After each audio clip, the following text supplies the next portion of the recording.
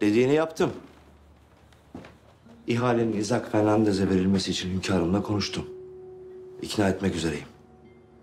Söylediklerimi yaparak kendinizi kurtarıyorsunuz Sadrazam Paşa. Ondan tam emin değilim. Hünkârımı ikna edince itirafnameyi nasıl vereceksin? Ben vermeyeceğim.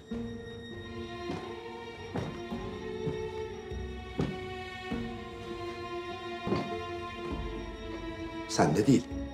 Onu anladık. İtirafnameyi nasıl ele geçireceğim? Bana bunu nasıl sağlayacaksın?